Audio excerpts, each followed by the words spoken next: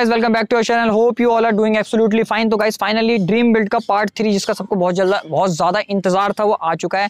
मेरे एग्ज़ाम चल रहे थे, इस वजह से वीडियो डालने में बहुत ज़्यादा टाइम लग रहा था। वीडियो तो शूट एक बार को कर लो बट एडिटिंग में थोड़ा बहुत टाइम जाता है। तो इस वजह से वीडियो थोड़ा सा लेट हो रही थी। लेकिन फाइनली हमने भाई अपनी ग्रे गूज जो कि हमने अपनी साइकिल अपने ड्रीम बिल्ड का नाम रखा है, उसको आप सबको इंट्रोड्यूस करा दिया रिवील कर दी है। सिनेमेटिक शॉट्स आप सबने इंजॉय करे होंगे। बिफोर और आफ्टर की फ़ोटो भी मैं इसके बाद डालूँगा। बाकी गाइस इस मॉडिफिकेशन को काफ़ी टाइम लग गया। इस मॉडिफिकेशन में जितना भी मेरे को कॉस्ट आया, जो भी नए पार्ट्स जले, या फिर पेंट में खर्चा आया, या फिर जो हमने ग्राफिक्स करवाए, उसमें जितनी भी कॉस्ट आई एक एक करके आपको सारी एक्सप्लेन करूँगा, ताकि इन फ्यूचर आप लोग कोई मुझे देख के मॉडिफिकेशन कराएँ तो आपको एक एस्टिमेट पता रहे कि मॉडिफिकेशन में किस तरीके से क्या क्या खर्चा आता है। और आप सबके लिए एक कुछ हमें और नया एक चीज़ लेकर आया हूँ, वो मैं वीडियो के एंड में बताऊँगा। तो स्टेट यून वीडियो को बिल्कुल एंड तक देखना। जिस किसी ने भी अभी लाइक नहीं किया लाइक कर देना। तो गाइस चलिए डायरेक्ट वीडियो की तरफ़ चलते हैं। तो गाइस अब हम बात करने वाले हैं कि इस मॉडिफिकेशन पे टोटल कितना खर्चा आया और किन किन चीज़ों पे मेरे पैसे लगे। स्टिकर क्या क्या पार्ट्स नए डले एक एक करके आपको सारे बताऊँगा। तो गाइस देखो, सबसे पहले हमने जब साइकिल खोली थी डिसमेंटल करी थी तो सबसे पहला खर्चा तो देखो गाइस खुलवाने का था। तो खुलवाने में जो जो पार्ट्स जैसे हमने मैक्सिमम पार्ट्स तो खोल लिए थे। फ़र्स्ट पार्ट पे आपने देखा होगा, बीच में वो जो इसका क्रैंक वगैरह होता है, वो सब हम नहीं खोल पाए थे। तो उसमें आए पचास सौ रुपये लगे थे। अंदाज़ा हंड्रेड रुपीज़ मान के चलो आप, जो जो भी फिटिंग खुलवाने का चार्ज आया था, उसके हंड्रेड रुपीज़ लगे थे। उसके बाद जब साइकिल हमने खोल घाल के बिल्कुल साफ़ सूफ कर दी तो मेन हमारा पेंट पेंट हमारे को कॉस्ट करा था। मैट ग्रे के दो कैंस थे और मैट ब्लैक के हमें लगे थे अराउंड तीन से चार कैन तो नौ सौ के आसपास हमें पेंट में खर्चा आया था। उसके बाद जब हमने इसकी वायर्स निकाली थी तो साइकिल मेरी मैं बता दूँ, चार साल हो गए इस साइकिल को। चार साल पहले मैंने परचेज़ करी थी। तो इसकी वायर्स वगैरह और काफ़ी सारे पार्ट्स पड़े पड़े ही ख़राब हो गए थे। तो हमने सोचा कि क्यों ना सारी चीज़ें एक बार नई डलवाएँ, क्योंकि तरीके से अगर बिल्ड करें किसी चीज़ को मॉडिफिकेशन में ये नहीं होता कि जुगाड़ भाई हमें जुगाड़ वाला काम चाहिए नहीं था। तो हमने क्या करा, चारों वायर चेंज कराई। वायर्स का खर्चा मैं आपको बता दूँ। गियर की वायर आगे पीछे दोनों 300 के राउंड पड़ी थी और ब्रेक की हमें पड़ी थी यही डेढ़ दो सौ के राउंड ये हमें ब्रेक की वायर्स भी पड़ी थी। तो दोनों मतलब चारों वायर्स मिला के हमें अराउंड कॉस्ट किया था पाँच छः सौ के आसपास। उसके बाद दोनों व्हील्स की हमने अलाइनमेंट कराई, उसमें भी सौ से डेढ़ सौ रुपये लग गए थे। स्टीकर वर्क जो मेन था हमारे लिए सबसे ज़्यादा उसमें हमें लगे थे अराउंड ढाई सौ रुपीज़ उसमें हमने क्या क्या करवाया था? एक तो हमने इसमें लोगो डिज़ाइन करवाया था प्लस ग्रे गूज जो कि दोनों साइड लिखा हुआ है एंड सबसे मेन चीज़ जो हमारे चैनल का नाम था रियो द एक्सप्लोरर वो भी हमने लिखवाया था एंड एंड में शिमानो इक्विप्ड क्योंकि इसमें सारे कंपोनेंट शिमानो के लगे हुए हैं। उसके बाद गाइस जो हमें सबसे ज़्यादा इस साइकिल में दिक्कत आ रही थी, वो थी इसकी चेन स्लिप मार रही थी। काफ़ी टाइम से जैसे पहले मैं स्टंट राइडिंग वगैरह काफ़ी करता था तो मैंने तब साइकिल पे चला चला के छोड़ दी और ध्यान नहीं दिया बिल्कुल भी, सर्विसिंग वगैरह कभी टाइम पे नहीं करवाई। तो जो इसके कैसेट होती है, जो गेयर्स होते हैं पीछे वाले, वो उनके टीथ होते हैं, वो घिस चुके थे, जो कि मुझे बिल्कुल नहीं पता था।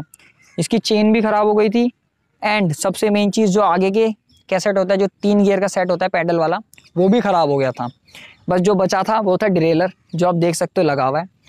तो जो पीछे वाला कैसेट है, मुझे वो 250 के राउंड कॉस्ट किया। चेन मुझे करी 200 के राउंड कॉस्ट और जो फ्रंट वाला क्रैंक है, ये भी तीन चार सौ के अराउंड मेरे को ऐसे ही पड़ गया था। बाकी इसमें गियर असेंबली तो पूरी नई डलवानी पड़ गई थी।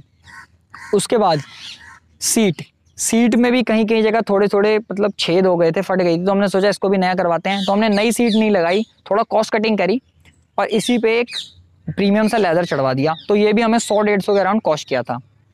उसके बाद गाइज़ जितने भी इसमें लेबर चार्जेस लगे, वो तो मैंने अभी इंक्लूड भी नहीं करे हैं। वो मोटा मोटा सौ दो सौ रुपये के आसपास लग गए होंगे। तो वो तो मतलब लगेंगे ही लगेंगे, क्योंकि अगर आप खुद फिट नहीं करें, अगर कोई मिस्त्री या कोई भी दुकान वाले से फिट करवाओगे, वो अपनी लेबर चार्जेस ले गई। उसके बाद डिस्क ब्रेक की बात करते हैं। डिस्क पैड भी इसके बिल्कुल मतलब घिस के ख़त्म हो चुके थे, क्योंकि जब परचेज़ की थी, जो कंपनी से फिटेड डिस्क पैड आए थे, वही लगे हुए थे। और तब से चेंज ही नहीं कराए तो इसमें खर्चा आया था अराउंड साढ़े छः सौ या सात सौ रुपये का, क्योंकि इसके जो डिस्क पैड थे वो थोड़े महँगे वाले थे रेक्टेंगल वाले, और आगे पीछे दोनों के ही चेंज हुए थे। तो गाइस बस यही खर्चे हैं, जो मेजर खर्चे थे, जो इस पूरी मॉडिफिकेशन में आए। बाकी हमारा जो हार्डवर्क था, उसके तो हमने पैसे नहीं लगे। अगर हम किसी बाहर वाले से बनवाते तो उसके पैसे भी लगते। तो वो काम हमने खुद ही कर लिया, एक तरीके से कॉस्ट कटिंग हो गई। तो गाइज़ ये था हमारा कुछ ड्रीम बिल्ट कमेंट्स में बताओ आपको ये कैसा लगा? भाई, मुझे तो बहुत पसंद आया क्योंकि मैंने बहुत हार्डवर्क किया इसके पीछे, बहुत रातें जागा हूँ मैं इसकी चेन फिट करना, कभी कुछ करना। तो तो गाइस आप सबके लिए मॉडिफिकेशन मॉडिफिकेशन की एक क्विक टिप देना चाहूँगा। देखो गाइस चीनू और मैंने जब ये साइकिल स्टार्ट करा था ये वाला प्रोजेक्ट तो हमारा बजट था अराउंड पंद्रह सौ से दो हज़ार। तो हम ना मतलब दो के का बजट लेके चल रहे थे कि हाँ इसके अंदर तो हो ही जाएगा सारा काम। बट जब हमने भाई खोलना स्टार्ट किया साइकिल को नई नई चीज़ें ख़राब निकलती रही निकलती रही। ठीक है? कभी किसी चीज़ में ख़राबी आ रही थी, कभी किसी चीज़ में ख़राबी आ रही थी। जब आप साइकिल खोल लोगे ना तो ऐसा तो नहीं है कि भाई अब, कि अब खराना तो है ही ठीक, छोड़ तो सकते नहीं। तो गैस हमेशा मैं आपको ये टिप देना चाहूँगा, जब भी आप किसी साइकिल का बजट रखो या कुछ भी रखो ना तो उसमें हज़ार या पाँच सौ रुपये एक्स्ट्रा लेकर चलना हमेशा, क्योंकि आपको कुछ नहीं पता कि कौन सा पार्ट ख़राब निकल जाए। क्या पता कोई गलती से आपसे कोई पार्ट ख़राब हो जाए या कुछ भी हो सकता है तो पाँच सौ हज़ार हमेशा सेफ़ साइड चलना, ताकि आपका बेल्ट बीच में ना रुके। इस साइकिल इस पूरी मॉडिफिकेशन पे हमें कॉस्ट करा, तीन हज़ार से पैंतीस सौ एग्जैक्ट मैं इसलिए नहीं बता पाऊँगा, क्योंकि पचास सौ रुपये के बीच बीच में खर्चे बहुत सारे आ रहे थे। तो अराउंड एस्टिमेट है, पैंतीस सौ तक हमारी पूरी साइकिल नहीं हो गई। और पैंतीस सौ ब्रो वर्थ है यार गाइस क्योंकि आजकल आप भी लॉकडाउन चल रहा है साइकिल के रेट बहुत ज़्यादा महँगे हो गए हैं, और पैंतीस सौ में हमने ऐसा भौकाल बना दिया। तो भाई ठीक है, मेरे को तो वैल्यू फॉर मनी लगा, ठीक है? और वैसे भी चार साल हो गए सर्विस भी कराते हज़ार पंद्रह सौ लगते, हमने सब कुछ खुद ही कर दिया, पैंतीस सौ में बिल्कुल चेंज कर दी। तो गाइज़ आप सबको एक सरप्राइज़ देना चाहता हूँ। रियो कस्टम के नाम से तुम्हारे भाई का स्टार्टअप है। रियो कस्टम एक प्रॉपर क्या बोलते हैं उसको? Well furnished well mechanical equipped equipment सब कुछ तुम्हारे भाई का गैरेज खुलने वाला है, ठीक है? अभी फ़िलहाल तो स्टार्टअप है। इस स्टार्टअप में मेरी हेल्प कर रहा है, मेरा फ्रेंड चीनू, जिसको आप दो वीडियो से देखते आ रहे हो। और गाइस बहुत टाइम से सपना था, अपना गैरेज हो साइकिल मॉडिफिकेशन का। फाइनली अब हम इसका स्टार्टअप किया है प्लान और हम बहुत जल्द, आप सबके प्रोजेक्ट्स भी लेने वाले हैं। तो भाई मैं आपको थोड़ी सी इसकी ना डिटेल्स बता देता हूँ। सबसे पहले आइडिया कहाँ से आया? जब हमने अपनी साइकिल मॉडिफाई करा रहे थे तो हम इसको ना लेकर बार बार मैकेनिक के पास जाते थे तो हमें काफ़ी लोगों ने पूछा कि भाई ये कहाँ से ली? तो हमने जब उनको बताया कि हमने खुद बनाई है, खुद मॉडिफाई करी है तो आधे लोगों ने तो बिलीव ही नहीं करा।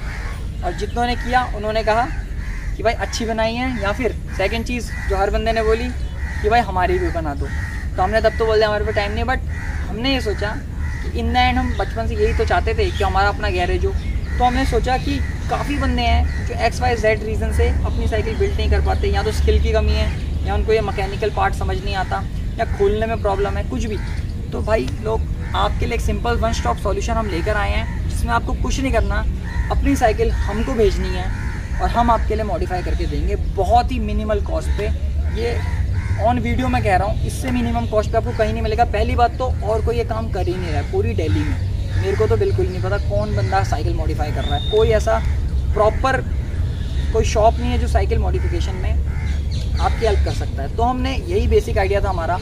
कि ये ये चीज़ तो हमें करनी कहनी है। क्योंकि जैसे हमारा ड्रीम था, जो हमने तैयार करा है, बहुत हार्ड वर्क के बाद तो हम चाहते हैं आप सबकी अपनी dream cycle dream build complete हो। आपको कुछ नहीं करना। अपनी साइकिल की प्रॉपर फ़ोटो हमें इंस्टाग्राम मेरा इंस्टाग्राम हैंडल है, नीचे लिंक डिस्क्रिप्शन में मिल जाएगा। फ़ोटो सेंड करनी है। और अपना बजट बताना है कि इतना मेरा बजट है और आपको क्या क्या चीज़ें उसमें मॉडिफिकेशन करनी है। जैसे पेंट हो गया या आपको कुछ भी ग्राफिक्स चाहिए, अपनी साइकिल पे पेंट नहीं कराना, कुछ भी एक्स वाई जेड वो सब हम आपसे फ़ोन पे डिस्कस कर लेंगे। दूसरी चीज़, हमने क्या सोचा है कि भाई, जो साइकिल मॉडिफिकेशन है ना, इसमें क्या होता है, जो मैकेनिक होते हैं, आधे तो मैकेनिकों को काम ही नहीं आता। हमारे गियर को सेट करने में कम से कम सात या आठ मैकेनिक लग गए थे, जो प्रॉपर सारे गियर वर्क कर पाया था। किसी में सात, सातवा गियर नहीं चल रहा था, किसी में पहले भी नहीं आ रही थी, किसी में दूसरे पे टक रही थी। बहुत इशू आए। तो भाई, ऐसा कोई था नहीं। चीनू भाई कैमरे के पीछे वो थोड़ा शाई है भाई, कैमरे के आगे आ नहीं पाता। उस बंदे को भाई डिस्क ब्रेक का काम, गियर्स का काम, बहुत तगड़ी तरीके से आता है। और तुम्हारा भाई को पेंट वर्क पेंट जॉब जितना भी मैंने खुद किया अपने हाथों से, और दूसरा ग्राफिक्स कस्टम ग्राफिक्स ये सारे ग्राफिक्स आपने देखे होंगे, ये सब मैंने खुद अपने तरीके से डिज़ाइन करवाए थे। तो इसमें तुम्हारे भाई का हाथ थोड़ा अच्छा है। तो भाई यही कुछ हमारा स्टार्टअप है। होप करता हूँ आपको ये अच्छा लगेगा, और आप लोग अगर हम पे ट्रस्ट करते हो तो हमसे काम भी करवाओगे। बाकी इसकी सारी डिटेल्स आपको नीचे डिस्क्रिप्शन में मिल जाएँगे। इंस्टाग्राम पे मैसेज करो फटाफट और जो भी आपको किसी को मॉडिफिकेशन करवानी है, हमसे करवा सकते हो। तो गाइज़ आज के लिए बस इतना ही। होप करता हूँ आपको वीडियो अच्छी लगी होगी, हमारी ड्रीम बिल्ड आपको पसंद आई होगी।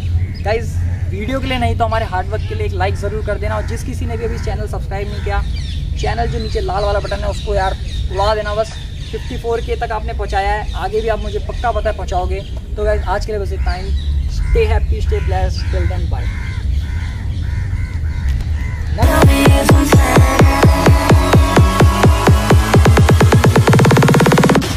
Justin Newton.